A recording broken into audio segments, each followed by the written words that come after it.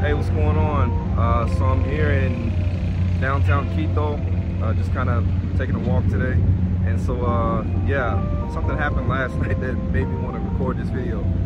So right now, depending on where you are in Ecuador, it's a good possibility you do not have electricity.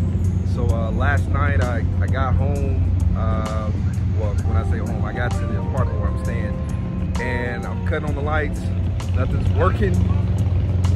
So that's when the host of my Airbnb told me, uh, Gavilán, this is the period of time where we don't have any electricity. And I'm thinking to myself, what? You know, at first I was just thinking it was something with the building.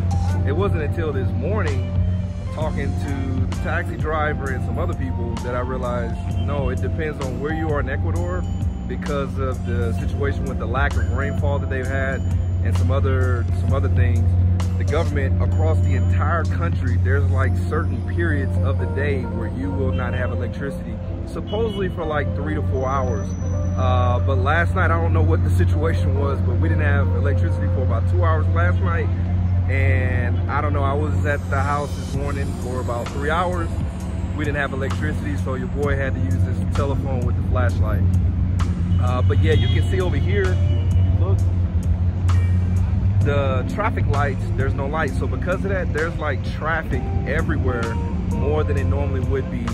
So I would think, you know I'm saying, if you're gonna try to reduce the electricity, it'd be one thing to, you know, maybe put restrictions on buildings and houses and things like that. But to make it to where even the traffic lights don't even work, causing extra traffic.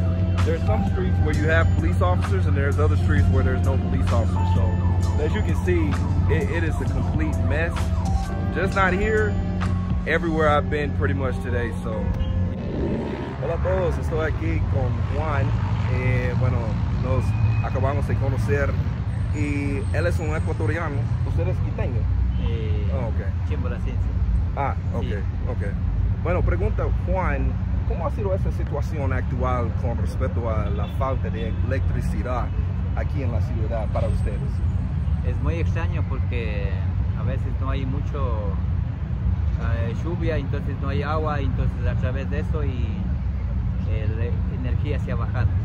Wow, Sí. ok. ¿Y por cuántas horas diariamente ustedes tienen Ah. que vivir sin luz? Hasta en 5 horas. Cinco horas. 5 horas, sí. Cada, ¿A- a qué horas? Cada sector desde las 8 hasta las 2 de la tarde y a veces desde las 4 hasta las 7 de la noche, 6 de la noche, así.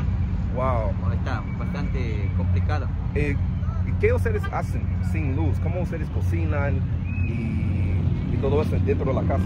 Eh, prender una vela Eso- eh, ahí con eso y a veces cocinar temprano y comer temprano y salir a dormir. Ah, ok. Eso es lo que es. Ok, Sí, eso Bueno. está mucho Wow, ok. Bueno, mu- muchísimas gracias Juan por tu tiempo. que le Ya, vaya bien. Que le vaya bien. Ok, chao. Chao. If you're coming to Ecuador, I don't know how long this is gonna last. I hadn't had that conversation, but if you're coming to Ecuador, this isn't even five o'clock traffic. I don't even know what that's gonna look like. So I gotta hurry up and get up out of here because I got somewhere to be, and it's probably gonna take me an extra 30 minutes. So till the next video, cuídate, ciao.